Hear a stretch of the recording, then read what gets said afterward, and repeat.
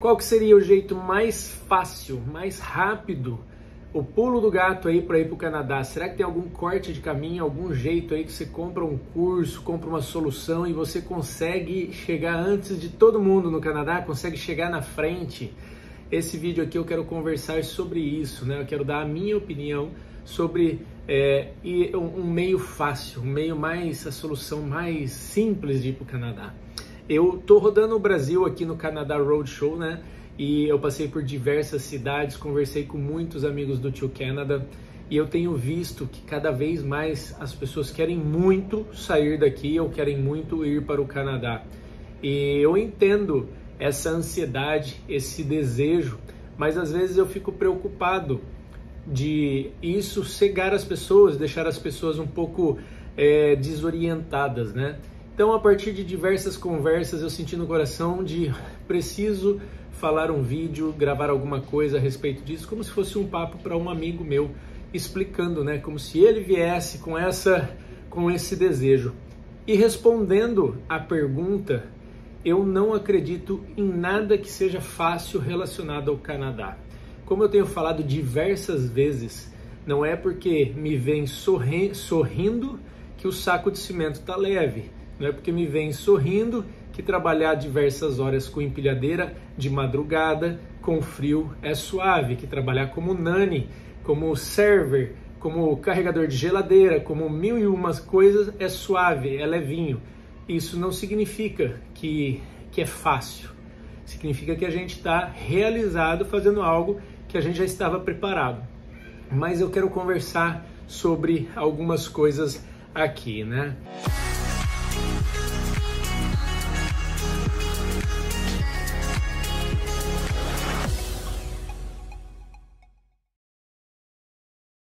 É justo, é válido que as pessoas queiram sair, mais do que nunca agora, né? Vendo aqui, eu consigo entender melhor, relembrar, na verdade, né, as questões de segurança, as questões de oportunidade, de, de pobreza, muita gente para rua aqui pedindo as coisas. Depois eu quero falar sobre isso, né? Não teve comendo para rua assim cheio de gente pedindo tal, você paga, compra um para você, já dá um para a pessoa do lado e fica naquela situação complicada. Você sai da porta de um estabelecimento de alto padrão, pessoas mexendo no lixo, pegando lixo, abrindo sacola, vendo se tem algo ali. Uma situação complicada, eu entendo. Você anda para rua, tem o medo de ser assaltado. Aconteceu aqui com uma das pessoas que estavam com nós.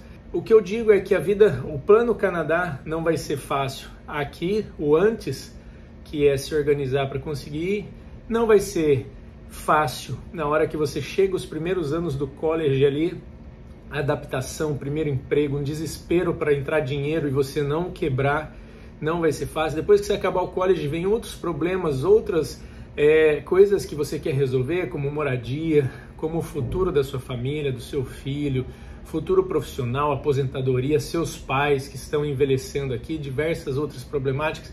Então é um, um mundo de dificuldades não de facilidades. Agora, uma coisa para mim é certa: a colheita é abundante, compensa. Eu estou aqui, é, acho que já há 10 dias mais ou menos no Brasil. Por nenhum momento eu fiquei pensativo, nossa, será que voltar seria uma opção? Nunca, não seria opção, a não ser que Deus conduzisse as nossas vidas para cá e eu atenderia sem nenhum problema sem nenhum problema, vírgula, né? Eu ia ficar triste pra caramba, mas ok.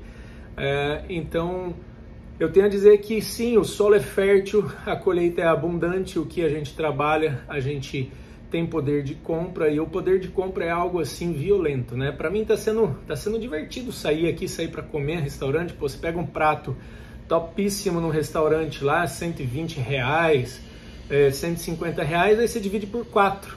Então aquela história do quem converte não se diverte, na verdade agora para mim é, é, ao contrário. Eu tenho que, eu convirto para me divertir. Então você vai tomar um, um drink, um negócio lá que pô é 20 reais, para mim é 5 tal. Viver em dólar aqui para mim está sendo tá sendo simples, mas a sensação é que as pessoas aqui estão vivendo em dólar e ganhando em real. E eu que tô com a moeda certa, entende? Porque dá a mesma proporção. Eu saio para comer um negócio aí dá 30 dólares, 30 dólares é o que eu gastaria para comer lá no Canadá.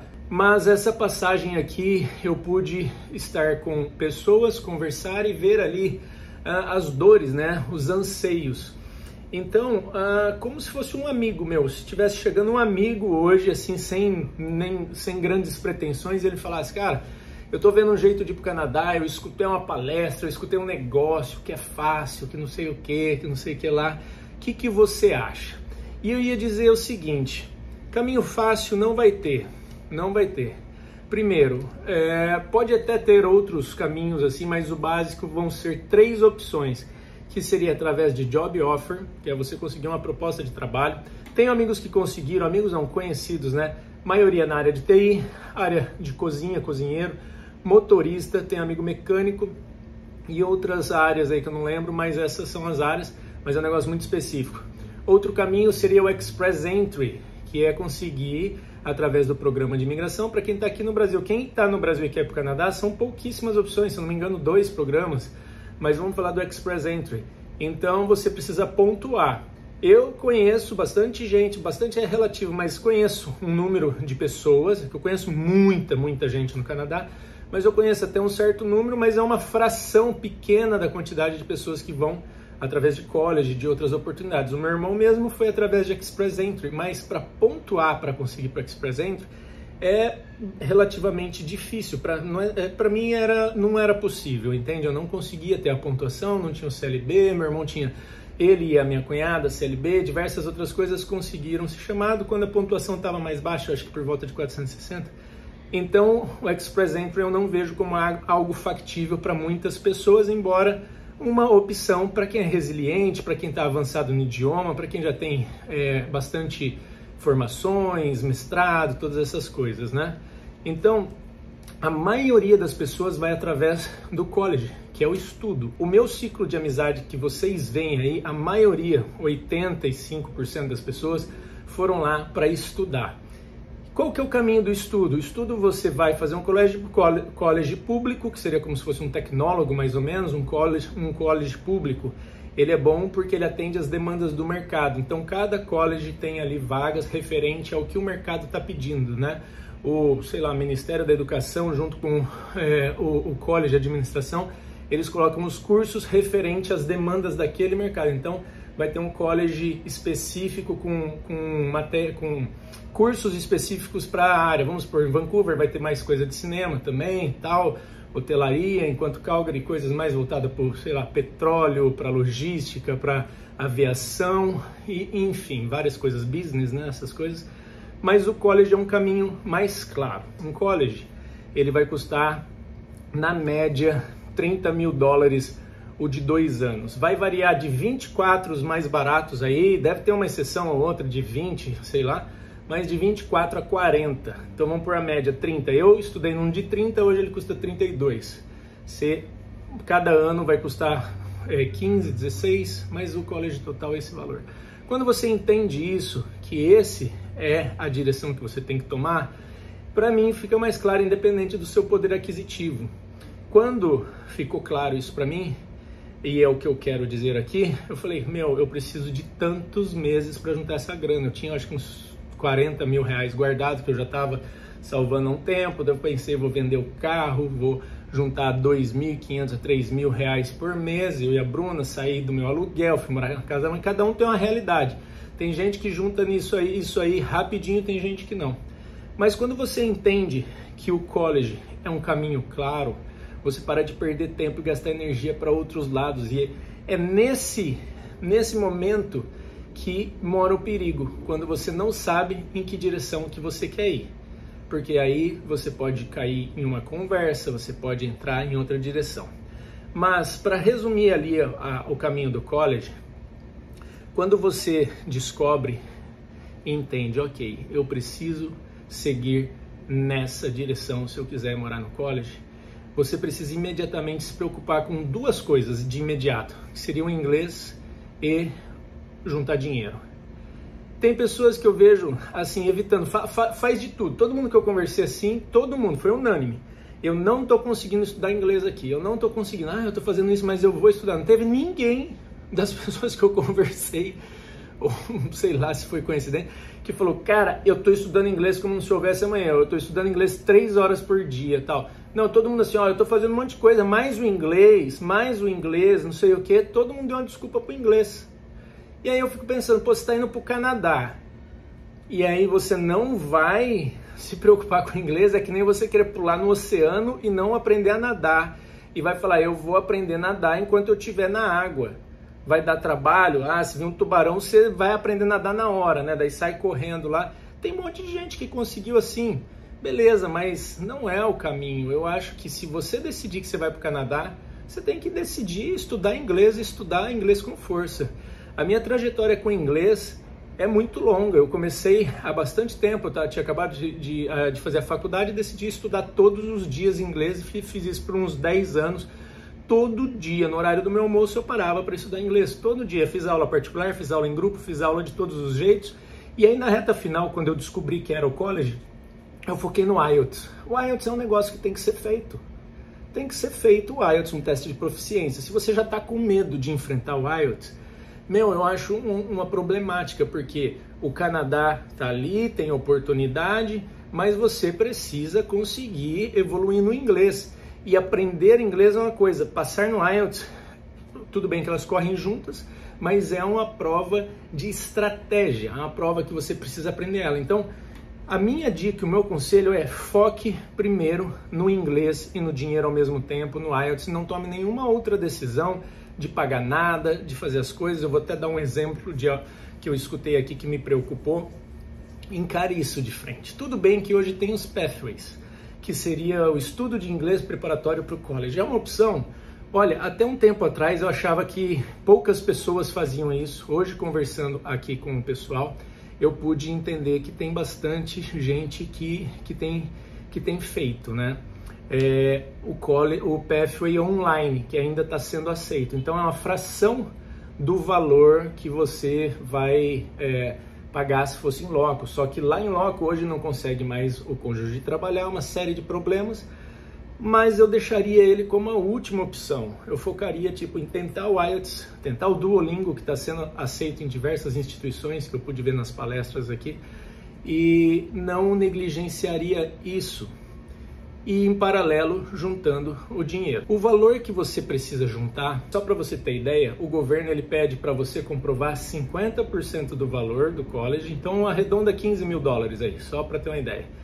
E ali se for um casal, mais 14 mil dólares, eu acho que subiu, mais 15 mil dólares o primeiro ano para se manter. Então 15 com 15, 30.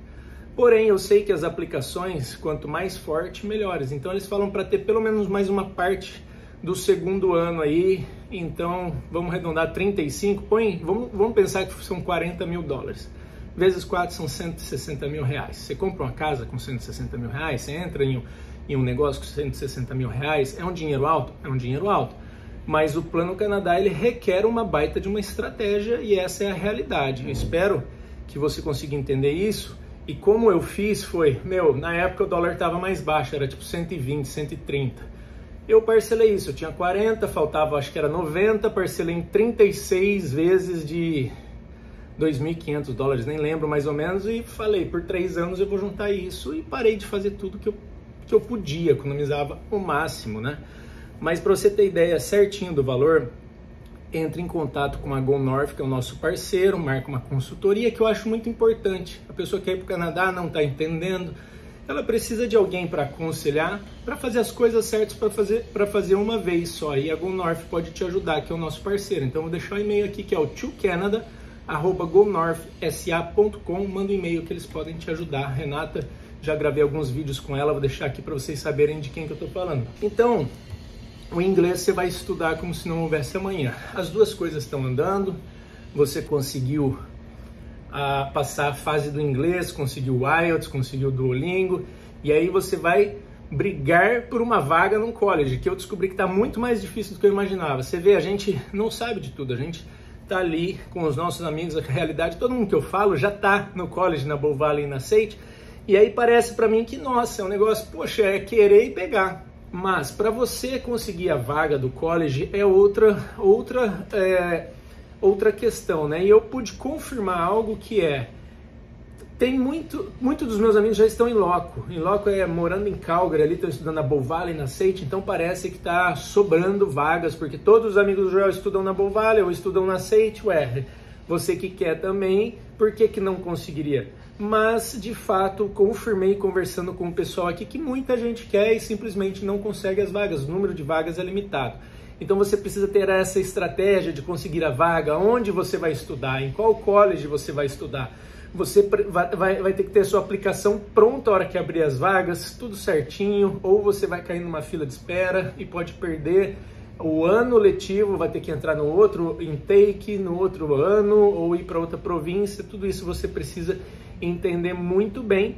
O que eu acho uma grande vantagem você fazer uma aplicação com uma empresa de confiança, uma empresa que já entende desse mercado e hoje a Rai Bonju, que é o nosso parceiro, estou aqui conversando com as meninas. As meninas têm uma experiência gigantesca sobre isso, sabem muito dos colleges, assim, do, do Canadá inteiro. Tem parceria com é, o, os colleges de Alberta também. Inclusive a Seite está aqui nesse evento que eu estou participando e as meninas podem te ajudar. A, a conversa com a Rai Bonju é gratuita. Você pode marcar uma conversa de acho que é 30 minutos. A Camila Ferreira, o Alaís é, vai, vão te atender, vão te explicar isso e isso vai te dar direção. Já é um ótimo caminho. O link para você marcar isso vai estar tá aqui embaixo e aí vocês avisam que são amigos do Tio Canada, que tudo dando certo, eu estou dando um bônus de uma conversa de 30 minutos comigo. Então, se você fechar o college com ele, depois a gente vai poder conversar sobre a vida no Canadá, planejamento, sobre a experiência do college, diversas dúvidas, vai ser bem legal também. Então, uh, ter alguém que vai fazer essa, esse caminho para você pode te ajudar. Que mais? Uh, o que eu, o, a respeito dessa ansiedade e você estar vulnerável pela sua vontade de rápido, pode te fazer tomar decisões erradas. Eu estive com uma família que ela falou para mim que eles estavam muito frustrados e eles decidiram vender tudo para ir para o Canadá, pararam com um plano de saúde e aí houve uma gravidez e precisou fazer no particular tudo, gastar um dinheirão e não tinha mais o plano de saúde. É uma decisão precipitada, é óbvio, olhando agora de fora, é muito fácil avaliar, não estou criticando, né? Mas eu disse para eles, gente, precisa ter as coisas certas, não dá para antecipar, não é assim, vou vender tudo e vou me mandar para o Canadá. Você precisa respeitar os processos se você as etapas do, pra, pra, do, de todo o processo para você chegar no Canadá, ou você vai bater cabeça, entende? Também tenho recebido relatos de pessoas que caem em golpe, recebi relatos de pessoas que estavam fazendo com uma empresa que nunca viram na vida, não tinha nem conseguido a inscrição do college, a empresa já pediu para pagar a aplicação de visto, daí não estava mais respondendo e-mail, o casal estava assim muito abalado, isso eu conheci pessoalmente. O que eu peço para vocês, entendam todo o projeto, saibam que não vai ser fácil se você quer fazer do caminho no jeito certo. As oportunidades estando no Canadá são maiores, porque daí vão abrir outros programas, tem mais de 50 programas de imigração por todas as províncias, mas para quem está lá, o governo tem favorecido quem já está estudando, então a pessoa que está lá vai conseguir diversas oportunidades. Foi o meu caso, foi o caso de diversos amigos. E é, é isso que eu quero dizer para vocês. Seja paciente, seja resiliente. Pode demorar um ano, três anos, dez anos, mas o importante é você não desistir e acreditar que vai dar certo. Só você vai poder fazer isso por você, não vai ser outra pessoa, tá bom? É um caminho complicado, mas vai valer a pena. Qualquer história de ah, vai através de ETA e depois não sei o que, fica como turista e vai dando isso daí a jeitinho. Eu não apoio isso, eu não acho que você vai ter uma vida próspera, uma vida é, é, que, vai, que, que, que vai colher o que a gente tem colhido. Isso é outro departamento, não é o que eu faço, não é o que os meus amigos fazem, não é o caminho, tá bom? Eu quero assim é, desejar sucesso para você na sua jornada. Eu sei, talvez esse vídeo tenha sido duro, pode ser que sim. Imagino que para muita gente ah, o que eu disse aqui é a verdade absoluta? Não, é um conhecimento, é como se estivesse falando com um amigo. Cada um sabe um pouco, a gente vai se contribuindo. Se você tiver uma informação, coloca aqui embaixo. Se você tiver uma dica, um conselho, coloca aqui embaixo.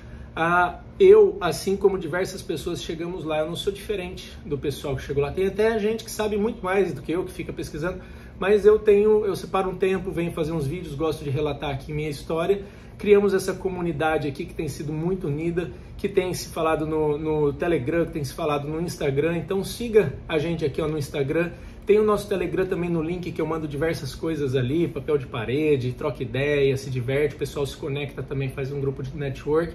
Esteja conectado e a gente se fala, deixa um like, uma mensagem no vídeo que é super importante, me fala se você está gostando aí de ver aqui a minha passagem por Brasil, pelo Brasil. Esse vídeo aqui vai ao ar provavelmente antes é, do evento de São Paulo. Então, quem é de São Paulo vai me encontrar no Canadá Roadshow de São Paulo, tá bom? Um abraço, até mais. Tchau, tchau.